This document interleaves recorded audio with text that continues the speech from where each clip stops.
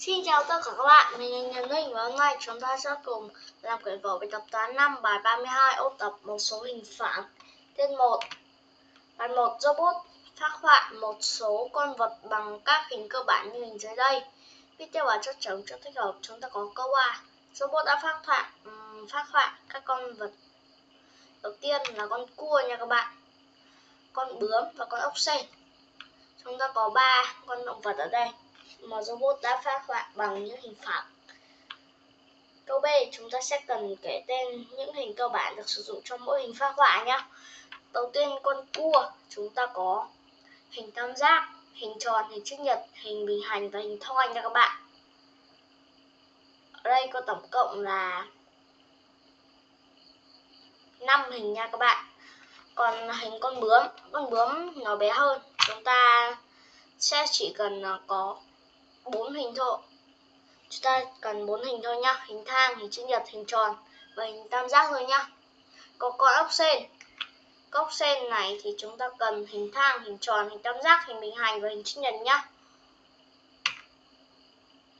Câu bài 2 hãy vẽ một đường cao cho mỗi hình tam giác dưới đây. Đầu tiên chúng ta có tam giác đầu tiên, chúng ta sẽ vẽ đường cao. Dọc thẳng xuống như này nha các bạn tiếp theo chúng ta có một tam giác tù. Thế nên chúng ta sẽ phải vẽ lần cao. Ừ, ừ, như thế này nhá. Hoặc chúng ta có thể vẽ theo cách khác. Ừ, nha các bạn, chúng ta có thể vẽ ra ngoài. Hoặc là vẽ vuông như vậy cũng được nhá. Tiếp theo chúng ta có hình tam giác đều. Chúng ta vẽ đường cao dọc thẳng xuống như này nha các bạn.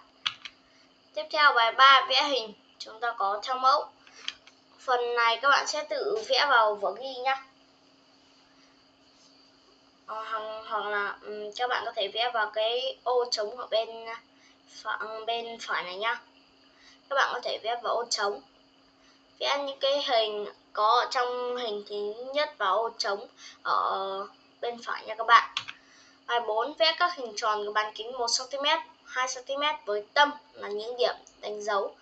Sau đó trang trí màu sắc theo sở thích của em. Chúng ta có đây nha các bạn. Hình tròn có bán kính 1cm thì mình sẽ tô màu đỏ. Mình sẽ vẽ nó màu đỏ nha các bạn.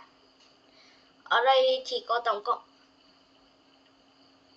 8 hình tròn ờ, có màu đỏ 1cm và 8 hình tròn màu vàng 2cm nha các bạn.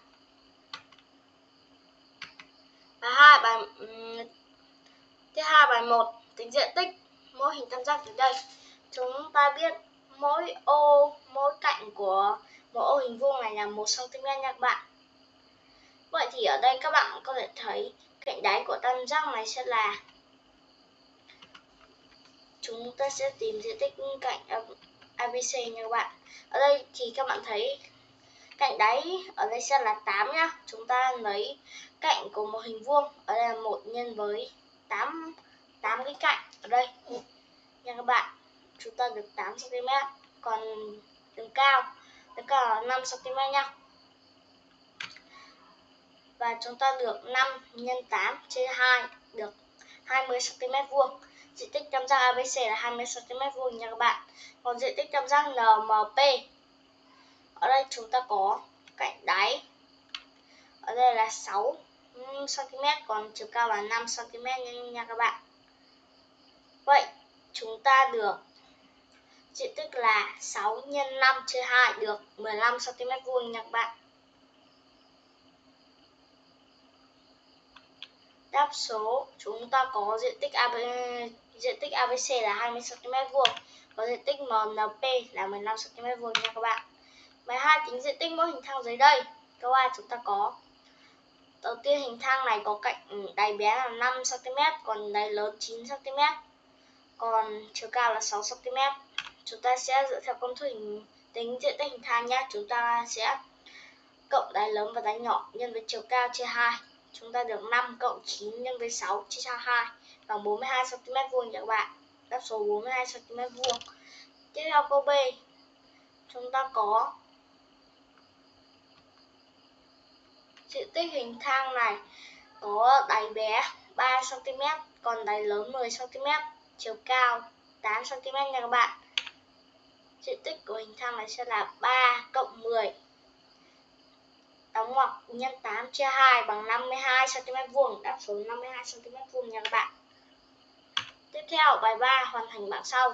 Đầu tiên chúng ta có bán kính hình tròn 2 cm, vậy chu vi của nó sẽ là ở đây chúng ta sẽ dựa theo công thức tính uh, chu vi hình tròn nhá. Chúng ta lấy hai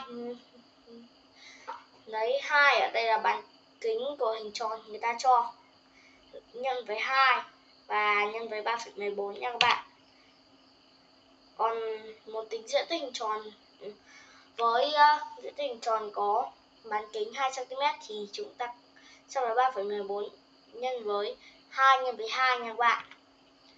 Chu vi của hình tròn này sẽ là 12,56 cm, còn diện tích của nó là 12,56 cm rồi nhá. Tiếp theo ta có bán kính hình tròn 10 um, bán kính hình, hình tròn có bán kính 10 cm Vậy chu vi của nó sẽ là 62,8 cm nha các bạn. Còn diện tích ở đây là 314 cm vuông.